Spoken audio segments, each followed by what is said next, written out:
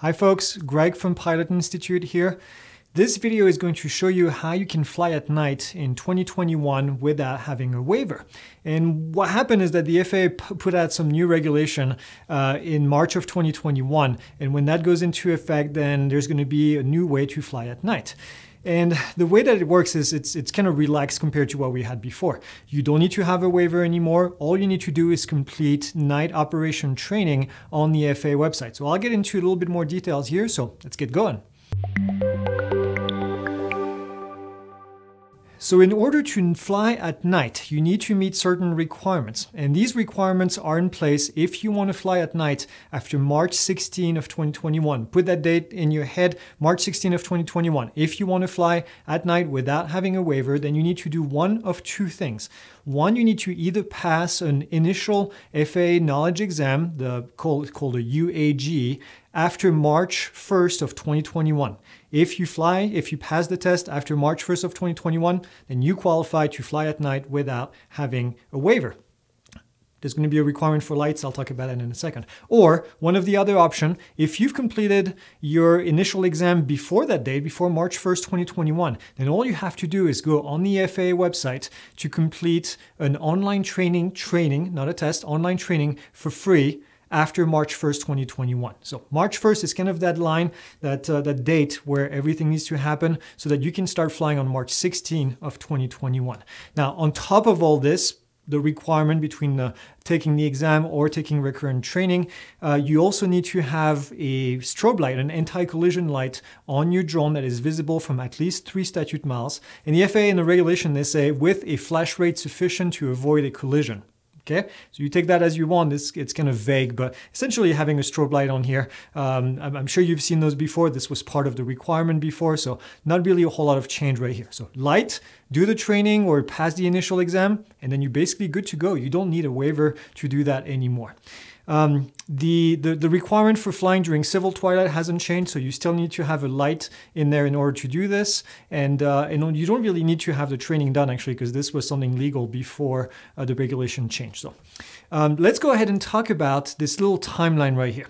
And I wanted to show you this timeline because sometimes it gets a little confusing and this is a little bit easier to actually watch.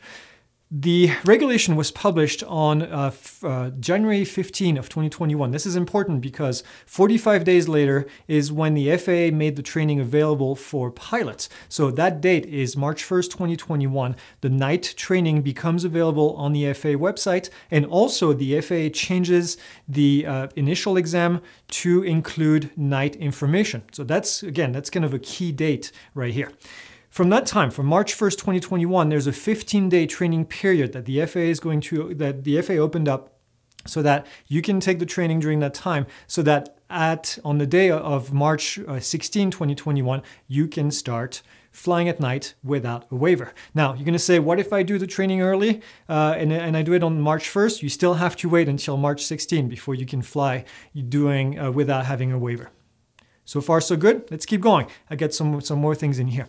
If you're looking for recurrent training, you've got really only one option. If you want to fly and follow the new regulation, then you have to go on the FAA website. The website is faasafety.gov. There's going to be a link down underneath the video right here, and then you can do the training there uh, start, starting on March 1st of 2021 in addition to that training. Now, if you've never done, if you've if you've ever done FA training, you know what I'm going to say right here is true. The FA training is typically pretty dry. It's going to be probably just a web page that you can read through, and then you'll be done, and then they'll consider that you actually completed the training. Um, we provide you with actual more in-depth, more interactive training for free on our website. So you can actually go and enroll in that module for free. If you're part of our Part 107 training, it's also part of that course. So you can just follow the training right there. But we have a separate module if you're not a student that you can actually follow and, and get some actual training. This is what it's all about, right? That's not about checking a box. This is about getting actual training that's going to make you safe. So we provide that training for free and you can uh, go ahead and do that. Now that does not replace the FAA training. You still have to do the FAA training. My training is just to make you proficient. The FAA training is to make you legal. Big difference, okay? The, let's talk about that training period of 15 days. The FAA is making the training available for the first 15 days starting on March 1st so that you have time to go through it. Uh, the reason I'm mentioning this is because March 1 to March 15, the day before uh, the regulation goes into effect, is considered kind of a training period if you want. I want to give you this warning. Don't go on the website on March 1st, 2021. There's over 200,000 remote pilots that are going to try to log in at the same time, and then the system is going to crash. I know it's going to happen. So um, take your time. You can't really fly until March 16 anyway, so you have 15 days to do the training. So if you're curious, maybe you'll probably go on the first day. Otherwise, it doesn't really make any difference if you take it on March 14 or if you take it on March 1st. So same difference. Uh, you still can't fly until March 16 of 2021 without having a waiver. Is this going to be on the exam? This is a question that I hear all the time. If you take the initial exam after March 1st of 2021, then yes, it is possible. I'm not going to guarantee that it's going to be on there because it's all random. So, but you more than likely will have night operation questions on the exam. I'm saying random. The FAA picks 60 questions from a database. There's a possibility that you're going to pick a, a night operation question, but it will be on the database starting March 1st, 2021. So you need to be ready for it if you're going to do that. The good news is the training module is already available on our Part 107 Made Easy course, so you can already get all the knowledge that you need. We even have a quiz available that you can use to kind of practice and, and be ready for what the, the questions are going to look like with the FAA. Another question that I get all the time Does this apply to everyone flying a drone? No, this only applies to remote pilots that are operating under Part 107. If you're a recreational flyer that, are, that is operating under uh, Section 44809, then you do not follow this regulation. You have to follow the current regulation. At the time I'm recording this, recreational flyers are only allowed to fly at night as long as they have a light on their drone and as long as they are in uncontrolled airspace. So that's kind of a, a, big limitation. If you want to do more, then you have to get your remote pilot certificate. Here's some questions that I've seen that people have sent me that I want to cover right here in this video because I'm sure you'll have the same type of questions. I took my initial exam in late, let's say uh, January of 2021. What do I need to do now?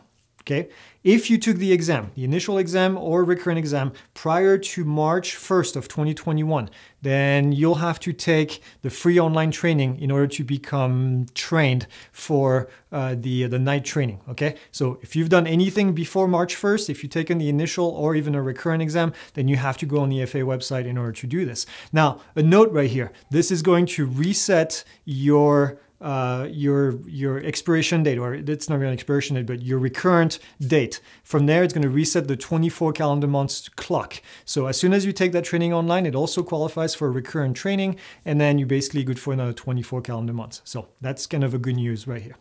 Another question that we hear, I have a 10729 waiver. Uh, what do I need to do in order to, do I actually have to take this recurrent training online? And uh, the FAA has said that your uh, waiver that was issued prior to March 16 of 2021 is going to expire on May 15 of 2021. Okay, so you have until May 15 of 2021 to use your waiver and then you'll have to go on the FAA website if you want to continue flying at night. So that's kind of a, a big question here.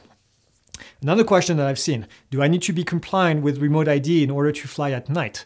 I know this video is going to go on YouTube and it's going to be there for a long time. So no, you do not need to meet remote ID requirements until at least September 16 of 2023, which is when the remote ID uh, requirement goes in place. So you still have a little bit of time from the time I'm recording this.